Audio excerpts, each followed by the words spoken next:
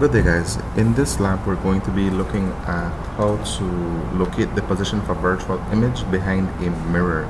Here we have the procedures on page 89 and 90 of your lab book and we have to make emphasis on all the material that we will be using okay so try to see if you can gather everything. Alright, the first things first that we need to do is to draw our mirror line. The mirror line can be drawn exactly at the center of your page. You figure out how to get the center and you draw a horizontal line through it and you label it mirror line. Then you're going to take your mirror and hold it into position on top of the mirror line. Make sure that the reflective side of the mirror is placed on the mirror line itself. Thereafter, you're going to take your object pin, which is just a random pin, and you will place that at a specific distance in front of your mirror. I choose 7 centimeters. What you're going to do then is you're going to view into the mirror and notice the reflection of that object pin inside of a mirror.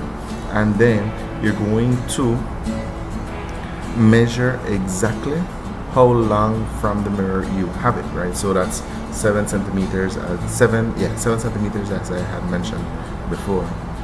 Then you're going to take a search pin, your first search pin, and place it in front of the mirror as shown, right? It doesn't matter where as long as it's in front of the mirror on like another side of it.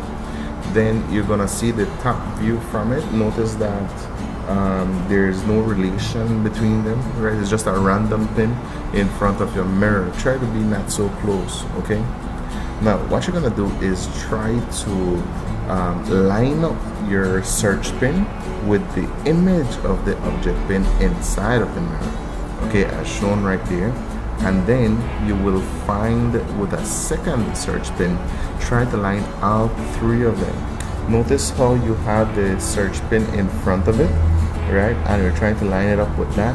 But also you're gonna try to line it up with the virtual image. Notice how all the heads are basically lining up right behind each other. Okay that's the object of the lab to try to have those line up. From a top view this is what you will get. See how the first search pin and the second search pin seem to be forming a straight line? That straight line will be with the virtual image of the object okay? And here is a um, straight view. And we notice how we can only see one pin that's how you know you have no parallax.